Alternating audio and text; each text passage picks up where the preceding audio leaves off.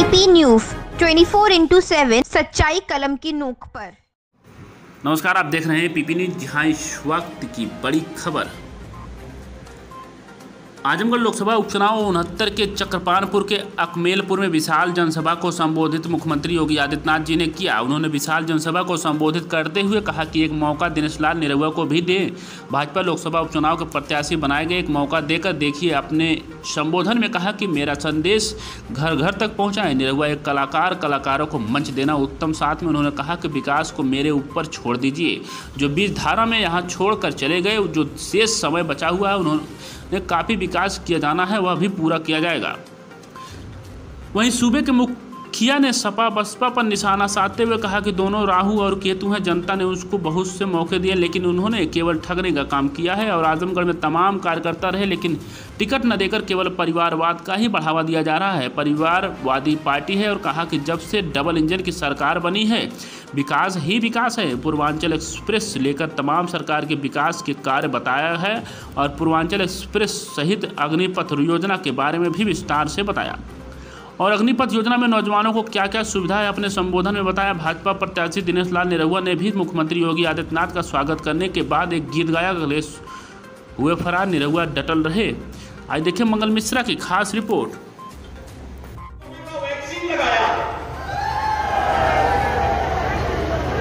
इसने कोरोना से आपको बचाया है ना? अखिलेश जी क्या बोलते थे? उन्होंने तो कोरोना का टीका नहीं लगाया है। जो भी छिपे लगाए वो अलग विषय है, लेकिन उन्होंने घोषणा की हम कोरोना का टीका नहीं लगाएँगे। और उन्होंने कहा था ना कि टीका बीजेपी का टीका है। उन्होंने कहा था ना कि मोदी जी का टीका है। बोला था ना यानी जब देश संकट में है एक महामारी के खिलाफ लड़ रहा था तब अखिलेश जी देश को गुमराह कर रहे थे। सहयोग तो नहीं किए, आपके संकट में सहयोगी तो नहीं बने। लेकिन गुमराह कर रहे थे, आपके जीवन के साथ खिलवाड़ कर रहे थे। लेकिन मोदी जी ने और भारतीय जनता पार्टी की सरकार ने, डबल इंजन की भारतीय जनता पार्टी की सरकार ने फ्री में टेस्ट फ्री में वैक्सीन और फ्री में राशन देने का भी काम किया। राशन मिला कि नहीं मिला? राशन दिया कि नहीं दिया? राशन मिला होगा ना? पैंतीस लाख लोग अकेले आजमगढ़ में कोरोना कालखंड में ही नहीं, अभी भी महीने में दो बार राशन प्राप्त कर रहे हैं, महीने में दो बार। भाइयों बहनों, पहले गरीबों को राशन मिलता ही नहीं था। वो वैक्सीन के खिलाफ दुष्प्रचार कर रहे थे, हम फ्री में वैक्सीन दे रहे थे। वे लोग गरीबों का खाद्यान्न खा जाते थे, हम लोग पंद्रह करोड़ गरीबों को उत्तर प्रदेश में फ्री में राशन की सुविधा उपलब्ध करवा रहे थे, आज भी करा रहे हैं। आज भी करा रहे सब कुछ हो चुका है, कोरोना समाप्ति की ओर है। लेकिन ये हमारा दायित्व था, संकट के समय में अपने लोगों के साथ हम खड़े होंगे। विकास भी नहीं रुकने दिया। लेकिन उपचार के साथ साथ बचाव के उपाय भी और घर गृहस्थी में भी कोई संकट ना आने पाए इसकी पुख्ता व्यवस्था भी करने के लिए सरकार काम कर ज़्यादा कुछ मैं भाषण नहीं करूँगा, क्योंकि हमारे प्रदेश के यशस्वी मुख्यमंत्री जी हमारे बीच में हैं। और मैं आप लोगों को यह बताना चाहता हूँ कि हिंदुस्तान के किसी भी कोने में हम लोग जाते हैं तो हर प्रदेश का व्यक्ति यही कहता है कि निरहुआ आप लोग बड़े भाग्यशाली हो। कि आपके प्रदेश के मुख्यमंत्री महाराज जी स्वयं आपका प्रदेश संभाल रहे हैं और आपके उत्तर प्रदेश को उत्तम प्रदेश बना रहे हैं। हर राज्य के लोग चाहते हैं आज कि उनके पास भी पूज्य जी महाराज जी जैसे एक मुख्यमंत्री हो तो ये हमारा आपका सौभाग्य है। कि हमारे उत्तर प्रदेश के मुख्यमंत्री जी आज स्वयं यहाँ उपस्थित हैं। मैं ज़्यादा कुछ नहीं कहूँगा सिर्फ़ इतना कहना चाहूँगा। 2019 में जब मैं चुनाव लड़ा था, मैं चुनाव यहाँ हारा। उसके बाद भी पूज्य महाराज जी के निर्देश से लगातार मैं आजमगढ़ के विधानसभाओं में लगा रहा और एक एक बिंदु को एक एक समस्या को पूज्य महाराज जी तक पहुंचाता रहा, लेके जाता रहा। और उस पर काम कराता रहा।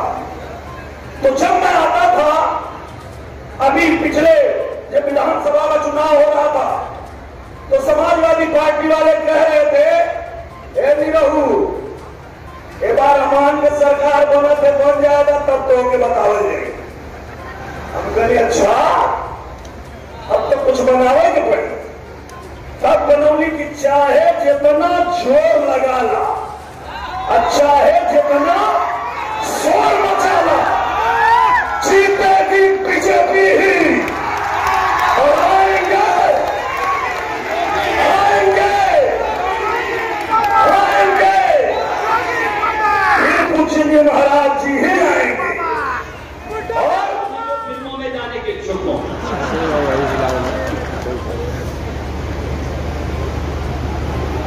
लेकिन मैं कह सकता हूँ नौजवानों के लिए बहुत सारे अवसर हम ला रहे हैं।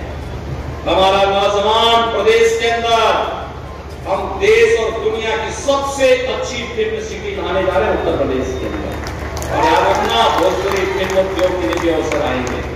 क्योंकि कलाकार तो हमारी एक उपलब्धि है। हमारे लिए ईश्वर द्वारा प्रदत्त एक उपहार है। और इन कलाकारों को सम्मानित करना, इन्हें आगे बढ़ाने के लिए प्रोत्साहित करना इन्हें मंचों के माध्यम से आगे बढ़ाने का अवसर देना, ये हमारा दायित्व तो है। और भाइयों बहनों मैं एक बार फिर से आपके पास आया हूँ। आजमगढ़ को आतंकवाद का गढ़ मत बनने दीजिए। आजमगढ़ को आर्यनगढ़ बनाने की विकास की प्रक्रिया के माध्यम से आर्यनगढ़ बनाने के आपके साथ आया हूँ आपके पास आया हूँ मैं कहने के लिए फिर से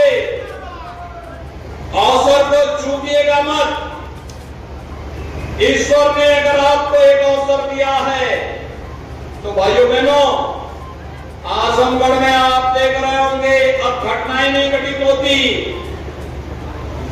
नहीं तो यहाँ पे अगर यादव ही लड़ाना था, पहले तो आपने अपमान किया एक दलित कार्यकर्ता का, उनको पहले आपने टिकट दिया, हम लोगों ने सोचा कि चलो, ठीक है, अब ये परिवारवाद के दलदल से इनकी पार्टी बाहर निकल जाएगी, लेकिन नहीं, फिर वही हुआ। फिर उन्होंने अपने परिवार के ही लोगों को यहाँ भेज दिया। तो मैं आप लोगों को सिर्फ़ इतना कहना चाहता हूँ कि सिर्फ़ नाम है इनका समाजवादी पार्टी। असलियत इनकी ये है कि ये है परिवारवादी पार्टी हाल ही में हम लोगों के समझदारों के नाम पर दूसरी बार मुख्यमंत्री के रूप में अब आनंद जनपद में उपस्थित है मैं भारतीय जनता पार्टी का जिला सचिव होने की नाते उन्हें भारतीय जनता पार्टी कहिए तो बिंदर प्यार और निशान और अल्लाह की है। ये लड़ाई गरीब की लड़ाई है। इस लड़ाई को अपनी लड़ाई समझकर लड़ना। और ये इटावा और सैनिक से आए हुए